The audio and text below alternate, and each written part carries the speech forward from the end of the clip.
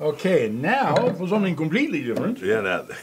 Yeah, did you taste this? You didn't get a chance to taste this uh, before Yeah. today, did you? Oh, you brought well, yeah, sure, because I wrote about it, but and I don't remember it. I mean, I remember being really, really liking it, but Well, a whole new entry. I mean, this is a new sales rep, a new vendor, and everything was new when they came in here. I love the wine though. And. I'm like, how did you find out about us? And she tells me this long story about somebody she knows that knows somebody, which still ceases to amaze me, never ceases to amaze me, that people who are in this business don't know what we do and how we do it and the volumes we buy. They don't know much about anything. I mean, it's unbelievable. And here comes this wine. I said, wow. Yeah.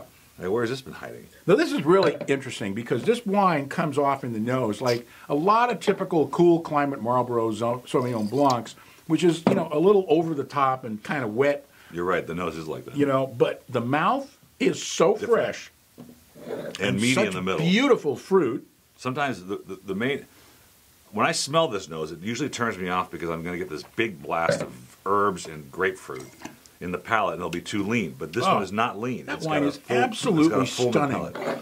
I'm doing a 98. I love it. I'm I'm gonna get some of this. Mm-hmm. Mm. I'll go 97. 2012. It's uh, 22 on the shelf, 11.98 for more.